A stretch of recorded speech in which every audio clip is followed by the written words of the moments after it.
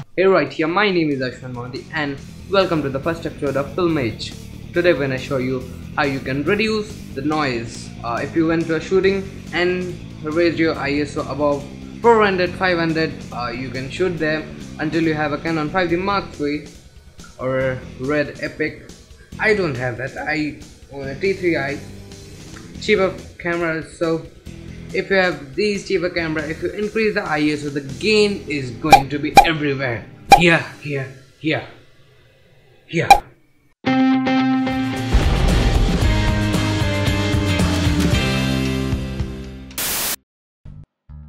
Hey right here we are now in Premiere Pro CC uh, it's 2015 I haven't still updated. So we are in the startup screen right here so the first thing that you're gonna need uh, is Red Giant's denoiser 2 it's pretty cheap one. It's cost hundred dollar uh, if you're gonna apply and students and teacher uh, you're gonna get 50% off. So now we're in After Effects and we're gonna uh, sorry about that. I'm gonna create a new project right here. And make it anything right here. You got um, any name so it's now creating a project uh, it's a project and I'm going to browse a file over here from my PC uh, so I will get on the so let's uh, work on my the uh, movie project that is working. So let's I'm gonna take this. So I'm gonna um, uh, make it a project right here and import it well so uh, now I'm, I'm I have imported it and I will bring it to the timeline and it will automatically create a sequence over here. So now just uh, go to effects. Uh, sorry there first click it over here and just go to effects over here and search denoise right here and just go and paste over it here.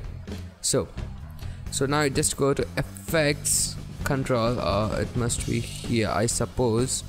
Uh, yes. Just go to effects control. Uh, as you can see it's have a lot of grain right here which is pretty much unusable. It now see it's the original footage it's have a lot of grain over here. So after you have it done denoiser just enable it. And now it is in the raft mode so just noise reduction bit uh, more if you have pull ISO over 400 so make it around 170 and an enhancement about 50% of 40 uh, sorry about that.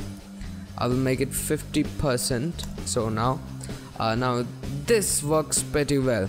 The first thing that I'm gonna show you the first footage it was right here.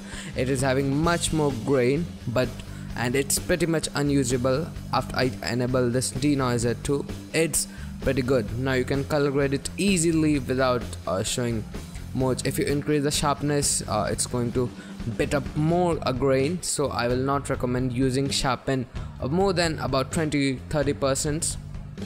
Keep it below 20 so now we have successfully ungrained a footage actually denoised a footage uh, now it's pretty usable. You can use it on your any project uh, if you have any question related to it you comment down below in the comment section.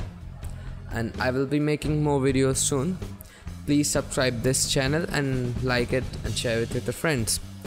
Uh, the, my name is Ayushman Mohanty and this has been Film Age